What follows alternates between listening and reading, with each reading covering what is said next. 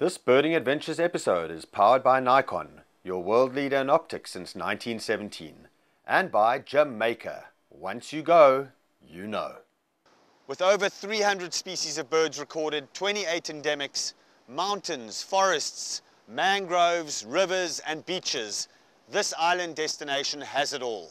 On this show, we're going to go in quest of crazy birds like northern potoos, and our golden bird for this episode, the crested quail dove. Let's go birding.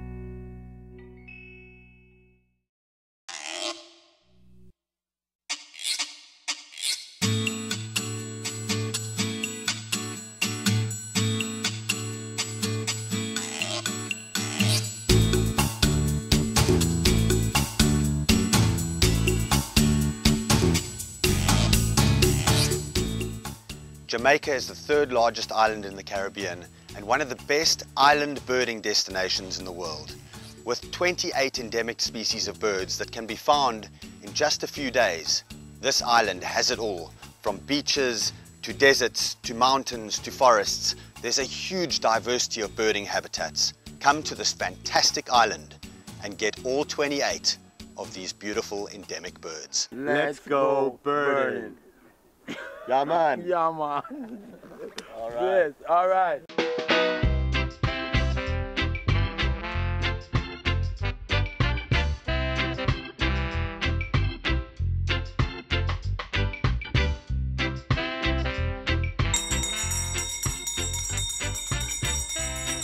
Sounds like that's our call for breakfast.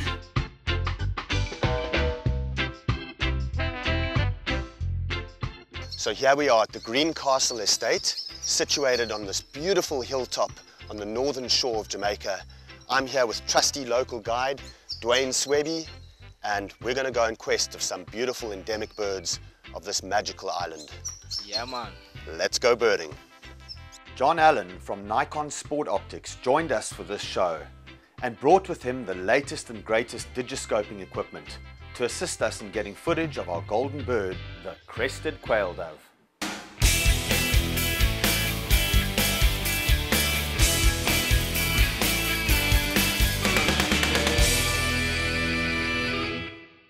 We're here in Jamaica and I'm with my trusty Edge field scope, but I'm also with John Allen from Nikon.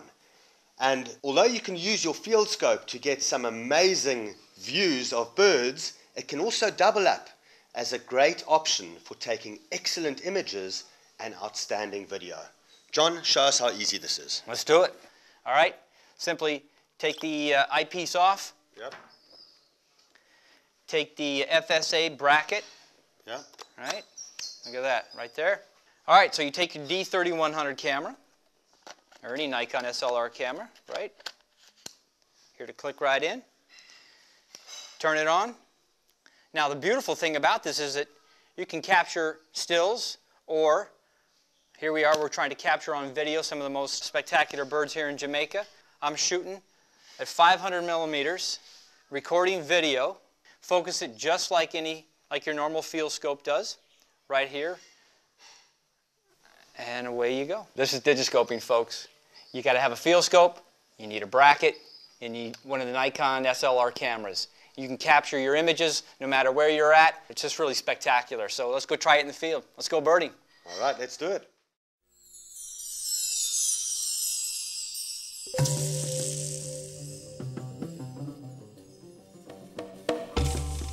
The Oriole family is very well represented on the West Indian Islands. In fact, 12 different species of orioles have been recorded on these islands. About half of them are unique or endemic to one particular island. We have, for instance, the Montserrat oriole, we have the St. Lucia oriole, we have the Martinique oriole, and we also have the Jamaican oriole. This oriole is endemic to the island of Jamaica and a tiny island called San Andres. Right here on the northern shore of Jamaica, we've got a pair of Jamaican orioles going about their business of raising a family. The Jamaican oriole is called by the Jamaicans Auntie Katie, and that's in reference to its call. It makes this call that goes Auntie Katie, Auntie Katie, Auntie Katie, and also some people call it the you cheat bird because it says you cheat, you cheat, cheat you, you cheat, you cheat, cheat you, and that's the call that this bird makes. Now what these parent birds will be doing right now is both of them will be heading out actively. It's quite early morning. They're heading out and they're gleaning insects from bromeliads at the top of the trees, but also underneath the bark.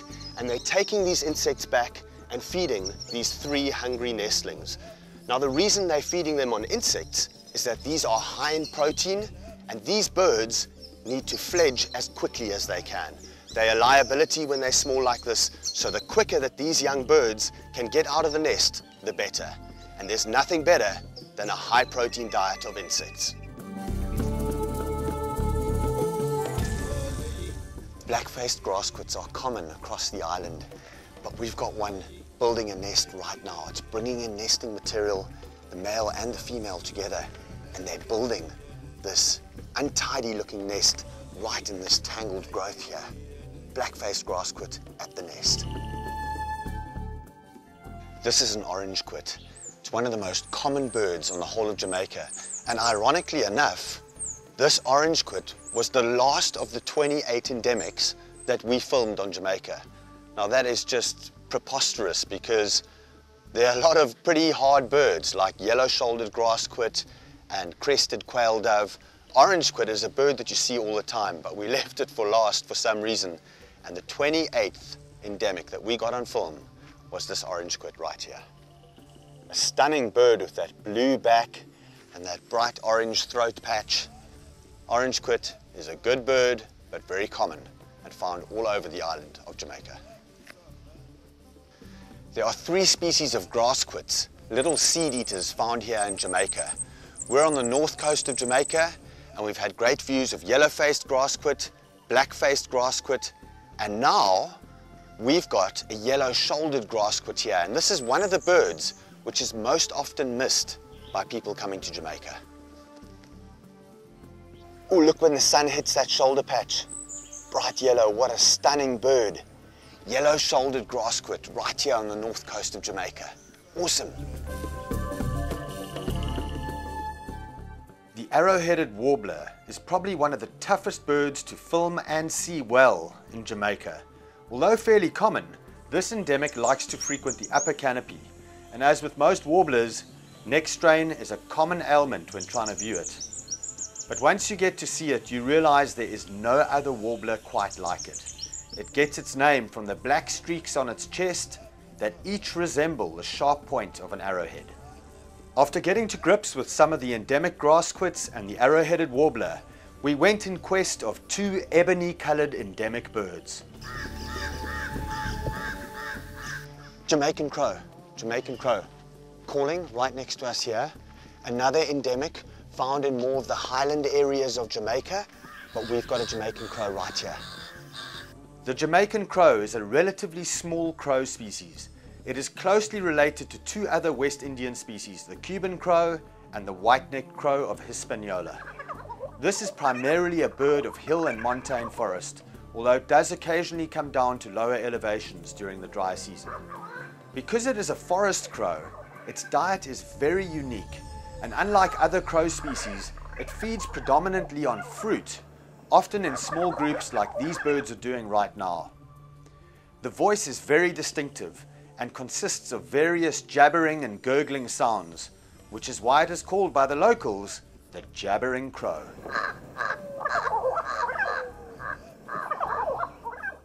Within minutes of finding the Jamaican crows, we were lucky enough to come across one of the most threatened birds in the entire country, the Jamaican blackbird. He's got one right here. Let's go see this. Found only in Jamaica, this blackbird is classified as endangered by the International Union for Conservation. There may be as few as 2,000 Jamaican blackbirds left on Earth, and the principal threat to this bird is habitat loss. This species is particularly vulnerable because it is dependent on large trees which support lots of epiphytes and bromeliads. It specifically feeds in these plants, gleaning insects in much the same way as wood creepers and ovenbirds do in similar habitat on the mainland. So the blackbird has evolved to occupy this niche in the absence of these other species. Moreover, in addition to its rarity, it is the only species in the genus Nesopsar, and it's not closely related to any living blackbird or grackle. So whilst we were very happy to find this rare bird, we really need to ensure that populations do not decline any further.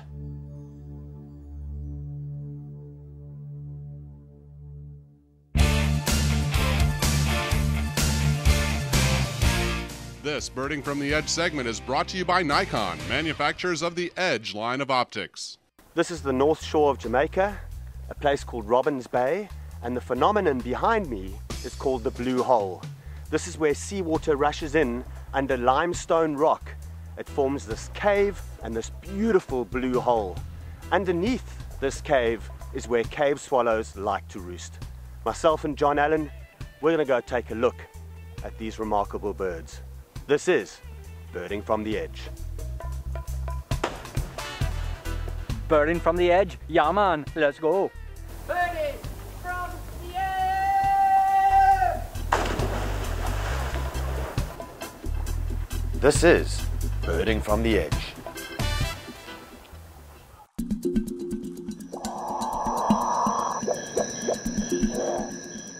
It's evening at Greencastle Estates, and we're heading out to look for a nocturnal bird called the northern potoo. This is a bird which is very difficult to find over its range from Costa Rica all the way up to Mexico and Central America. But here in Jamaica, it can be quite easy to find if you know where to look. Northern potoos are generally found sitting on fence posts along the road leading up to Greencastle Estate. But as is often the case in birding, nothing is guaranteed. And we walked up and down the road for hours with absolutely no sign of the bird. We had given up hope and were returning back to the lodge when in the distance we heard the distinctive call of the northern potoo. John, John, there's the call. That's him calling.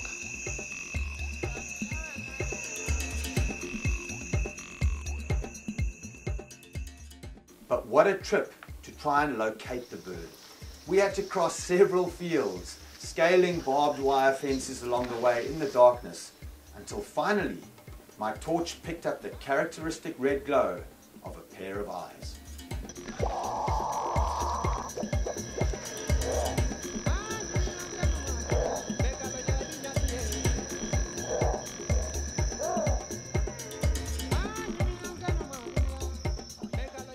Isn't this spectacular? Over my shoulder is a northern potoo here northern Jamaica. Look at this awesome and unique bird of the night skies of this island. This northern potoo, or northern potoo as some people call it, is an extension of the branch that it sits on. Sitting here in the open waiting for moths and beetles to fly out and it'll then sally forth, grab those beetles and moths with this huge oversized mouth. This is the kind of stuff that northern potoos will eat. When you actually look at the bird sitting there, you don't get a real idea of how big this mouth is, but it's a cavernous mouth for the size of this bird, and he gobbles up insects, moths, and beetles in flight, and then returns back to that perch. What a beautiful and unique species, and Jamaica remains one of the best places in the world to see this unbelievable bird. So wasn't that just wonderful? we had just about given up. We'd driven up and down the road. We had walked up and down the road, no luck. And we said, let's just give it one last try down the road. And we heard this guttural call coming from the depths of this forest here. Lo and behold, there was the eye shine. How was that, John? I've never seen anything like it. Isn't it a bizarre bird? Seeing those red eyes glow from about 100 yards away was Right. incredible. And then we kept thinking we couldn't get any closer, and then uh, James kept taking us and taking us, and until we were literally, what, 15 feet from him? Amazing, It was wasn't it? incredible. Good job. Well, stay with us because there's a lot more to come on Nikon's birding adventures.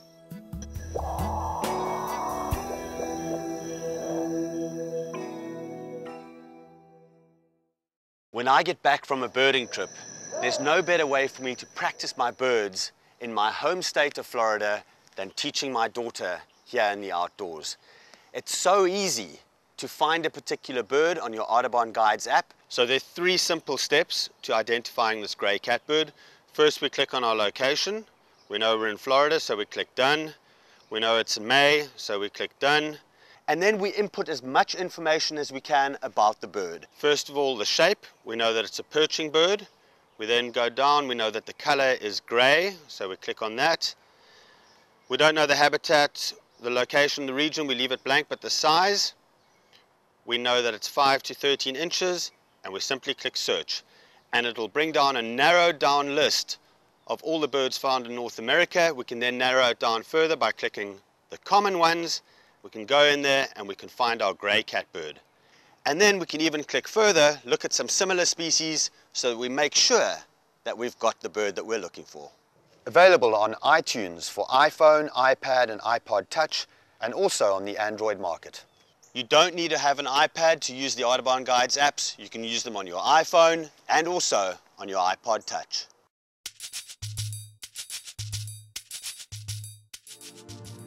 The dove species are fairly well represented in Jamaica, with several restricted range species like Caribbean doves, white crowned pigeons, and Zenaida doves being pretty common throughout the island. Dove hunting is a popular sport amongst the elite in Jamaica, but it is strictly controlled with expensive permits and strict bag limits. We got the chance to interview the president of BirdLife Jamaica, Ricardo Miller, who also happens to be heavily involved in dove hunting research. a lot of people sometimes turn their nose up at, at hunting, for example. But to be honest, hunting really um, brings about a lot of conservation. We allow no shooting of um, any endemic birds. We have a few endemic doves, and they might be enticing for a hunter, but it's definitely a no-no.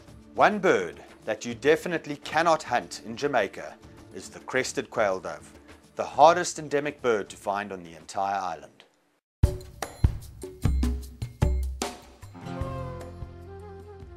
Ecclesdown Road in Portland Parish at the foothills of the John Crow Mountains is the single best location for this tough species. Early mornings are key as the birds forage on the ground then, and we split up into three groups to maximize our chances of finding it. Of all the people to find the bird was Murdoch, our driver, who spotted the bird whilst taking a nap in his vehicle. It worked out just perfectly. I had the small camera, John had the Digiscope camera, Jeff had the camera with the long lens, and we were all split up along the road and the bird landed right between the three of us. And we all managed to get different angles of this superb and unique species.